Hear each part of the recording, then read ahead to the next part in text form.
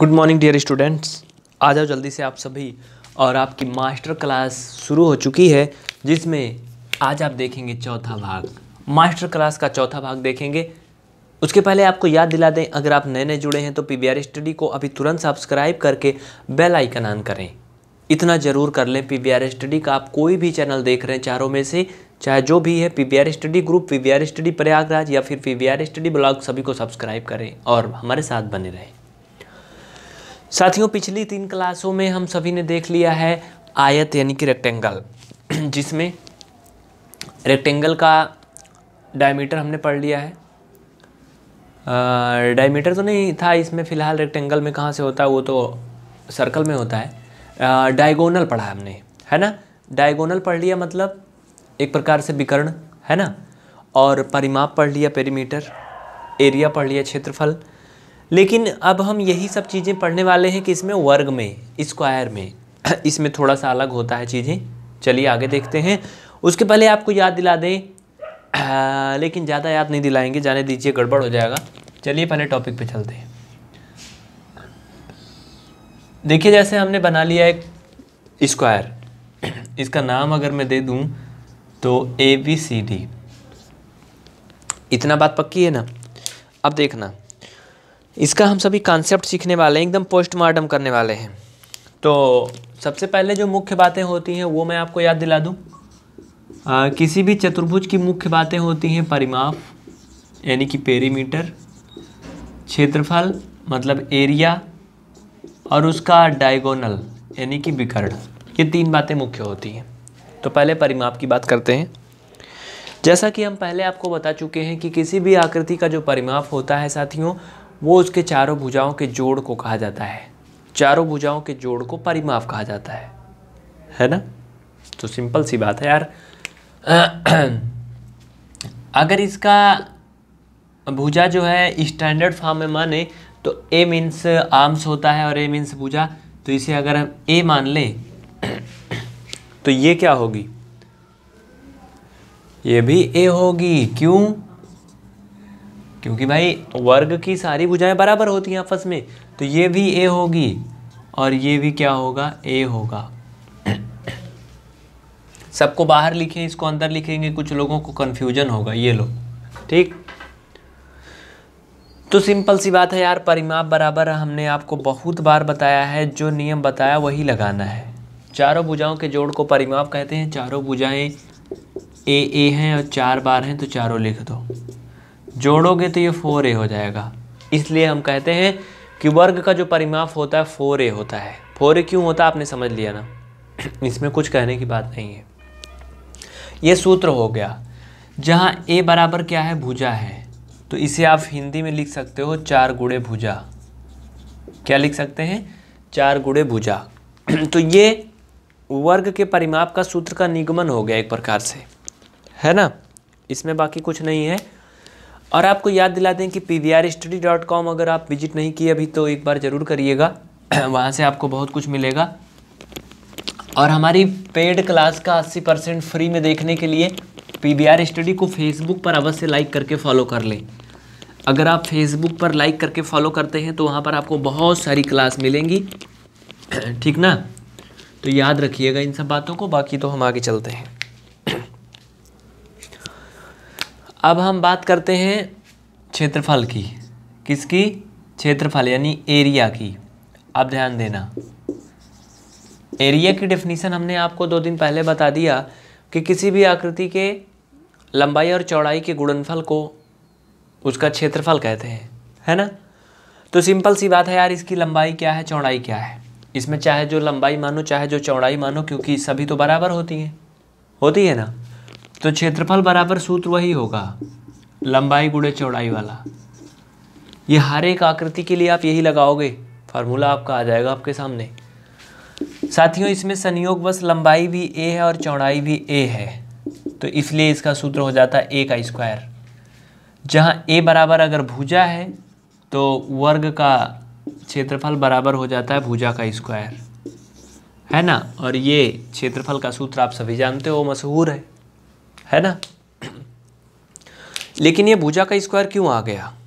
क्योंकि लंबाई और चौड़ाई जो होती है वर्ग में वो बराबर होती है। इस कारण से ये भुजा का स्क्वायर हो जाता है। लेकिन ये क्षेत्रफल और परिमाप आपने देख तो लिया बट ये क्या है? ये स्टैंडर्ड फार्मूला अभी तक हमने आपको बताया। इसमें अब हम आपसे सवाल भी पूछने वाले हैं, जिसके लिए आप कमर कस लो, जल्दी से रेडी हो जाओ। परिमाप की बात हम कर चुके हैं तो परिमाप का सवाल दिखाते हैं। और बाकी वो जो एक थी, बच रहा है ना बिकर्ड, उसके बारे में हम बाद में बात करेंगे बिकर्ड की। चलिए, अब इसमें कुछ एग्ज़ाम्पल हो जाए फटाफट। है ना? लगे हाथ। तो अगर इस वर्ग की जो भुजाएँ हैं, भुजाएँ मतलब कोई भी एक भुजा ले लो, साथ ही दो है। दो सेंटीमीटर है। तो इसका परिमाप क्या होगा? कमेंट करके जल्दी से आंसर दीजिए। उसके बाद फिर हम आगे बढ़ते हैं। कोशिश करिए, क्योंकि कोशिश करने वालों की कभी हार नहीं होती और कुछ किए बिना यूँ ही जय जयकार नहीं होती, कोशिश करने वालों की कभी हार नहीं होती। साथियों, एक बात मैं आपको बता दूँ कि अगर आप रेगुलर क्लास देखते हैं हर दिन तो आपको कोई समस्या नहीं होने वाली। चलें आगे। अगर क्वालिटी चेंज करके देखोगे 720 पिक्सल पर तो एकदम फुल एचडी दिखेगा। सूत्र अभी आपने निकाला था, फोर ए होता है। जहाँ ए बराबर भुजा होती है। तो इसका जो आंसर हो जाएगा भुजा दो दी गई है तो आठ सेंटीमीटर हो जाएगा। इसका परिमाप हो गया, जिसे इंग्लिश में बोलते हैं पेरीमीटर। ऐसे ही कुछ होता है, स्पेलिंग वगैरह अपना समझ लीजिएगा मतलब समझिए बस। अगर क्षेत्रफल की बात करें तो क्या हो जाएगा? देखिए साथियों, लंबाई जो है दो है तो चौड़ाई भी दो होगी, दोनों बराबर होगा, चूँकि वर्ग है। तो इस तरह से ये चार सेंटीमीटर स्क्वायर हो जाएगा। लेकिन सेंटीमीटर स्क्वायर लगाना नहीं, भूलना नहीं तो अंतर नहीं रहेगा क्षेत्रफल और परिमाप में।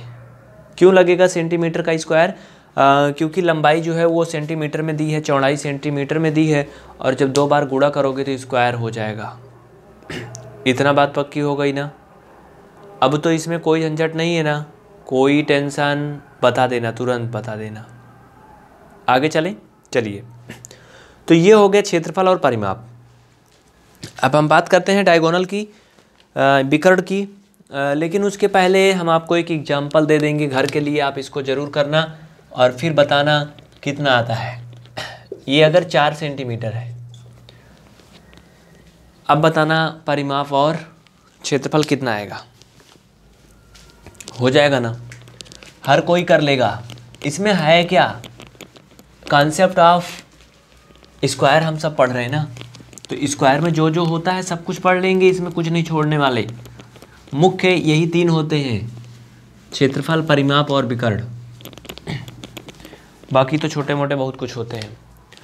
इसका एक सबसे बड़ा कॉन्सेप्ट ये होता है कि किसी भी वर्ग की चारों भुजाएँ आपस में बराबर होती हैं और किसी भी वर्ग की जो आमने सामने की भुजाएँ हैं, वो पहला नंबर तो ऐसे भी बोल सकते हो बराबर होती हैं, लेकिन इसको अच्छे से ये बोल सकते हो कि किसी भी वर्ग की चारों भुजाएँ आपस में बराबर होती हैं। दूसरा नंबर, वर्ग का हर एक कोण नब्बे अंश का होता है, जैसे आयत में होता है।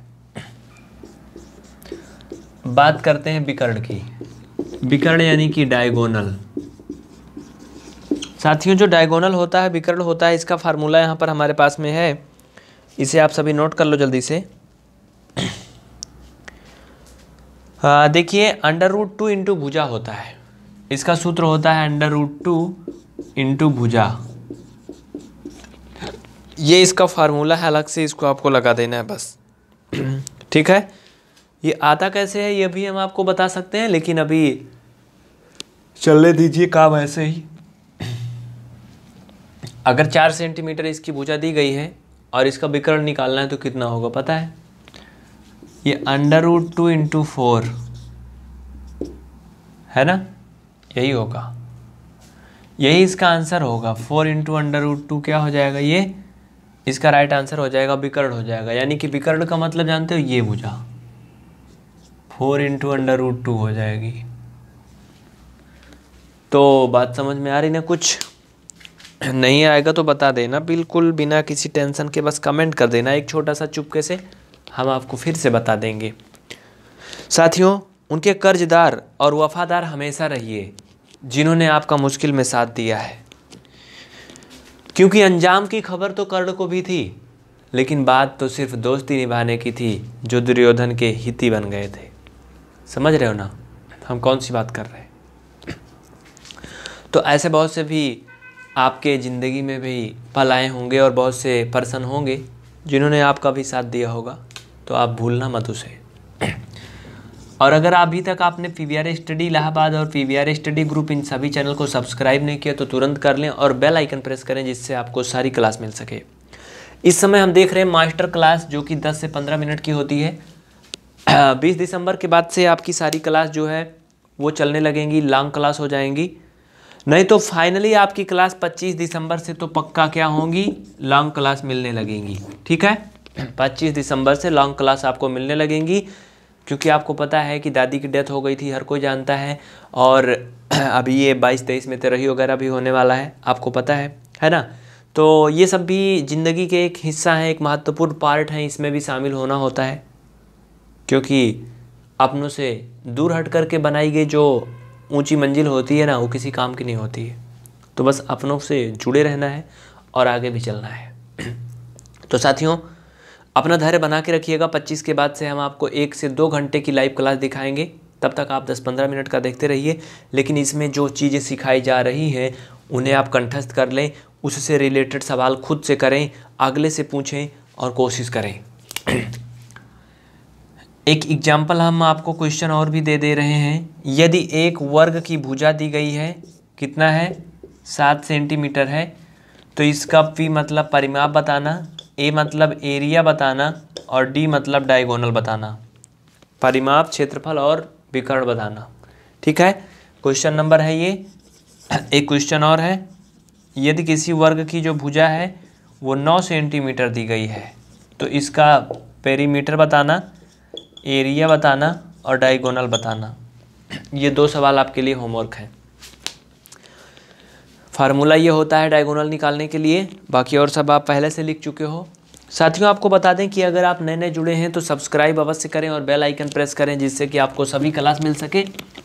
इसके अलावा आपको चलते चलते बता दें कि ऊपर व्हाट्सअप नंबर दिया गया है। अगर आप कंप्लीट क्लास व्हाट्सएप पर पाना चाहते हैं तो आपको मात्र पाँच सौ उनचास रुपये जमा करके और क्लास करना होगा। व्हाट्सएप पे सब कुछ मिलेगा। बाकी अगर फ्री में देखना है तो यूट्यूब पे सब्सक्राइब करके बेल आइकन प्रेस करके रखें और यूट्यूब पे फ्री में देखते रहें, लेकिन यूट्यूब पर कुछ क्लास जो है वो दिखती हैं, कुछ नहीं दिखती हैं, है ना? पेड वाली क्लास का 80 परसेंट भाग प्राप्त करने के लिए आप पी वी स्टडी को फेसबुक पर अवश्य फॉलो करें और लाइक कर लें, जिससे कि आपको पेड वाली क्लास के लगभग 80 परसेंट भाग फ्री में मिल सकें। अगर किसी प्रकार की इंक्वायरी है तो आप हमें फ़ोन कॉल कर सकते हैं। दोपहर बारह से एक के बीच में जिसके लिए नंबर है nine seven nine three four eight eight four four eight. इन्हीं बातों के साथ आज की क्लास को समाप्त करने की दीजिए इजाज़त। मैं राजकुमार दुवंशी फिर से मिलूँगा आपकी एक नई क्लास के साथ, एक नए जोश, एक नए जुनून के साथ, एक नई उम्मीद के साथ। तब तक के लिए जय हिंद। चलते चलते एक निवेदन होगा। इस क्लास को अपने दोस्तों में शेयर करके जाइएगा, जिससे कि अगले को भी इसका लाभ मिल सके। तो शेयर ज़रूर करिएगा साथियों। Thank you.